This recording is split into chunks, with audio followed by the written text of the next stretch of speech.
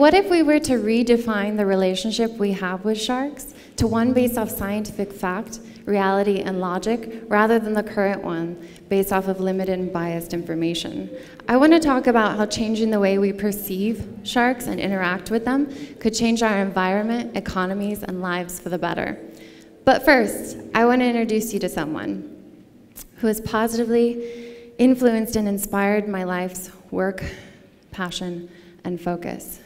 She's intelligent, she's graceful, beautiful, efficient, but what I admire her most for is her very important work and role.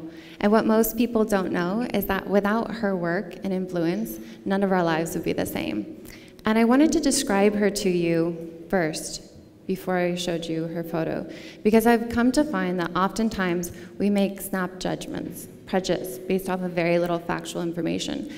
And I've personally found this because oftentimes I'm judged solely off of my appearance or work as a professional model, rather than my primary work in science, conservation, and business. So please keep in mind the truth that often there's more than meets the eye. And when you take time to get to know someone and better understand them, maybe you can better value them. And sometimes it's a little bit more interesting than you think, too. So, without further ado, my beautiful role model, Bella, which means beautiful. And yes, she's a great white shark, or more accurately termed a white shark, Carcharodon carcharias. Now, I know you might just be noticing her nice teeth and thinking something along the lines of monster, but tonight, I want you to put your prior beliefs about sharks on hold while I explain why Bella is actually such an ideal role model and why we should seriously take action to redefine the relationship we have with these animals to one based off scientific fact, data, reality, rather than appearances, snap judgments, and fictitious Hollywood movies. So, Bella and her kind are extremely intelligent. I've observed her and her kind outsmarting even humans within a matter of moments by adapting her behavior even in novel situations. This ability to quickly adapt has likely led to sharks' resilience over time. They evolved before dinosaurs, before trees, and they evolved two more known sensory systems than we even have to aid them a high level of efficiency in their very important role in the ecosystems, shaping and influencing them and making them stronger and better. Now, even though they're highly cognitive cautious and taking multiple factors before they take action, it is true that on rare, rare, rare, much more rare occasions than we make mistakes, sharks do make mistakes. Unfortunately, someone does get bit. Um, still, consider the millions of people that enter the water, the oceans, every single day, and the average number of fatalities is five to seven. Now, I feel extremely lucky. I get to spend almost every single day diving with sharks. Over 30 different species around the world on a diversity of research programs and conservation campaigns. My work in marine biology focuses on ethology, which is animal behavior and psychology, and cognitive ecology, where I study the way the animals interact with one another and their environment. And I've come to observe and learn some of the most fascinating things that I wish I had more time to share with you tonight. But in my limited time with you, what I've come to appreciate, what I feel is most important and urgent, and if I could speak up for sharks, what I'd want to share with you is their very important role and work and how it affects all of our lives. Essentially, imagine sharks as the ocean's immune system, the white blood cells. They pick up the dead, dying, weak, sick, injured animals, leaving only healthiest to reproduce, keeping lower trophic levels, and populations in balance. We all rely on our immune systems, and the scientific evidence for the importance of sharks is mounting. There are so many studies that show one after the other that the removal of sharks has environmental and economic negative impacts. Ransom and Meyer, Bascom Peets, affects all the way down to coral reef systems. The removal of sharks has been attributed with starvation. Throughout the respected scientific community, there is no denying the importance of sharks. Their effects on our environments, our economies, even the air that we breathe. 70 to 80% of the air that we rely on to continue living comes from our oceans. Either directly or indirectly, we all rely on the oceans. Billions rely on it for seafood, over 200 million rely on it for direct employment. Our lives, our futures are interconnected. In the words of one of my human role models, the wonderful Dr. Sylvia Earle, with every drop of water that you drink, every breath that you take, you're connected to the sea, no matter where on the planet you live. So, but sharks are still scary, right? So that's kind of the problem. Most people don't know many factual things about sharks except for they have teeth. Um, and many more people don't know that sharks are actually being decimated globally at a rate of over 11,000 every single hour. That's more than three sharks every single second. That translates to 70 to 100 million sharks killing every year. That's like killing everyone in Spain, Austria, and France every single year. Now, according to fishing records, over 90% of sharks have been depleted.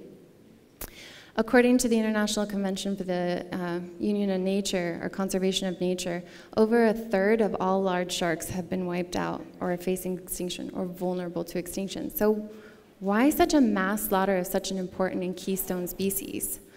Well, some of it is due to silly things like souvenirs and pharmaceuticals. Some of it is due to men and their inferiority complexes, I'm guessing. the shark.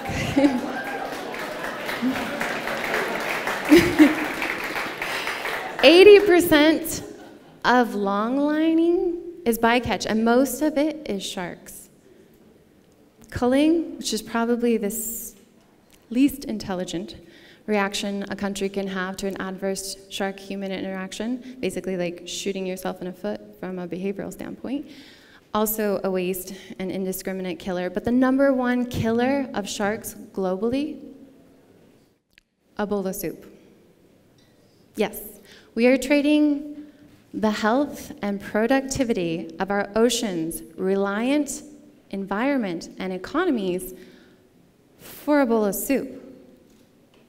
What's worse, it's not even nutritious. It's actually toxic. It's merely for the Chinese cultural belief that when they serve that soup, it means that they're prestigious or important. But what is classy about catching a shark, hacking off its fins, oftentimes while it's still alive, wasting 95% of the animal just to make yourself feel better about your social status? Consider sharks have been evolving for over 400 million years. Humans, 200,000, and their cultures, far less. We can live without culture. We cannot live without our oceans, and our oceans cannot live without their immune systems. Like rhinos killed just for their horns and elephants killed just for their tusks, sharks are being killed, slaughtered globally just for their fins.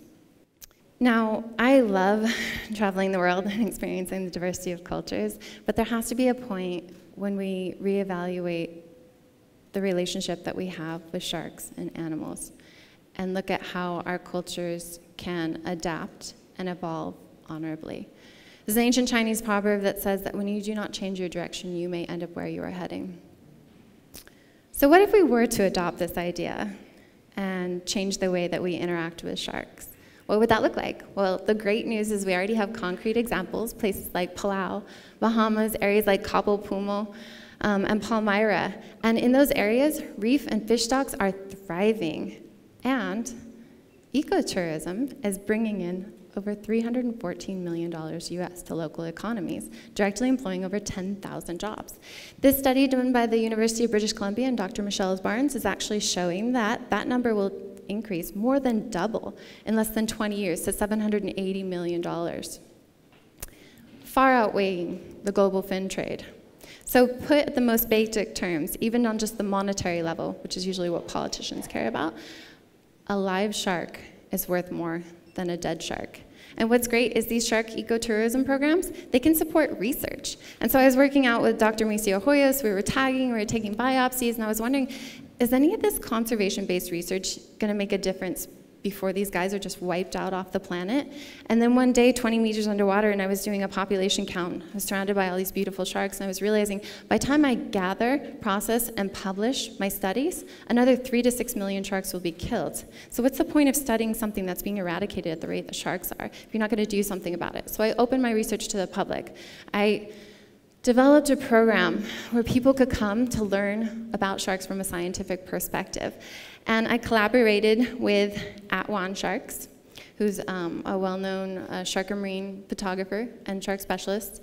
And we developed this program that's research and conservation based and opened it to the public so that they could learn about the biology, physiology, behavior, body language, the safest way to interact with sharks, kind of answer all those questions that people don't really know about sharks.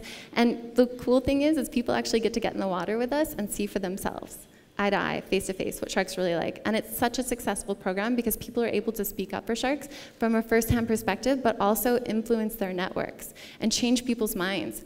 We are also able to fund educational outreach through this, reef and beach cleanups, local conservation campaigns, and international conservation campaigns.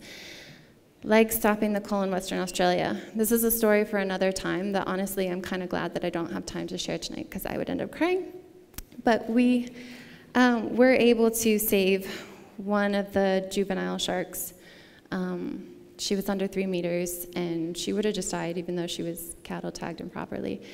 And you know, for 90 minutes, I swam with her, looking her in the eye and trying to like kind of tell her it was gonna be okay as blood was spewing out of her head, and kind of trying to tell myself that it was gonna be okay. And you know, after 90 minutes, she swam off, and it was that effort. This is another conservation campaign, a little bit more well known. It reached over 2 million people in two days, and um, featured none other than the lovely role model, Bella, who is so great for her species um, great representative. And at the time when we released it, it was because there was a study that was put out that showed that there were less than 350 great whites in the area from California to Alaska to Hawaii to Mexico. That's an area that Juan Sharks and I grew up diving with sharks, we, with white sharks specifically. We knew a lot of these individuals and had spent a lot of time with them, studying behavior and working with them. And so what do you do when you hear someone that you love, that you care about, that you understand is being eradicated? You do something. And so we thought with Water Inspired, we try and use inspiring photography and videography to inspire people to care. So we needed people to give white sharks a second look, a second chance. They don't make the news very often, and when they do, I'm sure you guys all know it's, it's not usually a good press. So we were successful. We wanted to show the natural beauty of sharks, but most of the time when people see a beautiful image like this, they just think, oh, it's just on its way to eat the next person, right? So we want to do the anti-Jaws. The little blonde girl, she gets eaten in the, the fictitious movie, right? So what's it like in reality? Well, I've been working with them for a long time, right? We dive to get receivers and other things like that. So I wanted to show a connection. I wanted people to be able to connect and see another side of these animals and realize that we can coexist. But in order to coexist, they have to exist. And there's so much more to these animals than meets the eye. And so when you take the time to get to know somebody, you know, you can understand that maybe there's more to them.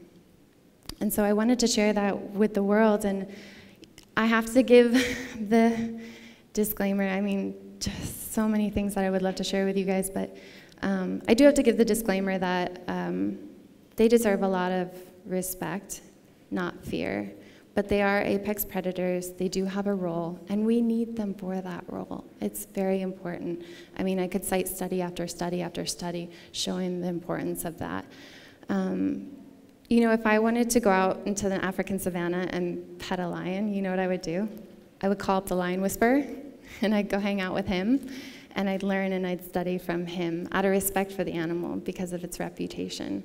So while I understand that, especially the way that they're portrayed in the media, um, that people are afraid of them, it's you shouldn't be afraid of them. You should just respect them. They're beautiful animals. There's so much more to them. So if there's one thing that Bella's taught me, it's that like Bella, we can all positively change and influence our environments for the better. All we need to do is take action. In the words of Jane Goodall, every day we make an impact. It's up to us what kind of an impact we want that to be.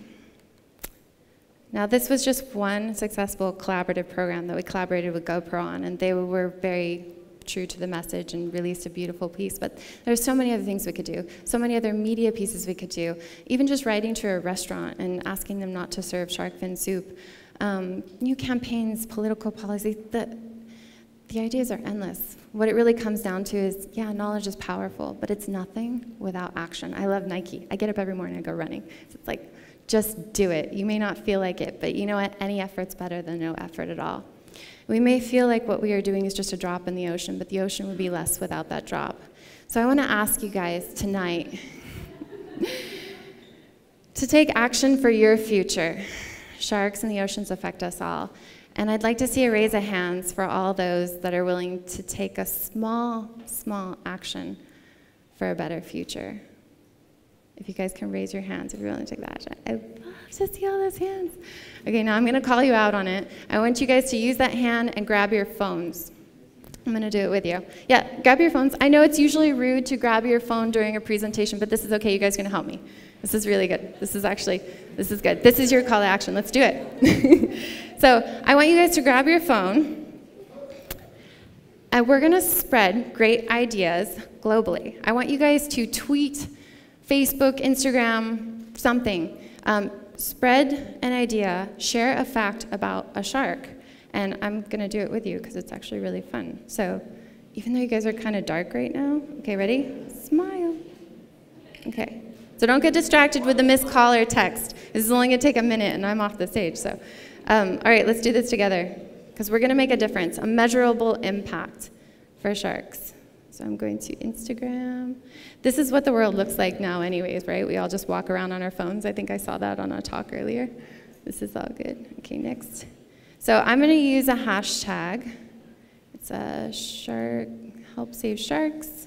Okay, help save Bella. Here with the amazing group at TEDx conference in Europe, helping spread great ideas and ways we can help save sharks in our future. Sharks are important. Redefining the relationships we have with sharks. Shark conservation, help save sharks. No shark fin soup. TED save sharks. TED talks on sharks. Okay, and I will share that. Awesome. And this is the best part. I get to thank you all for being a part of the force that redefines the relationship we have with sharks for a better future. Thank you guys.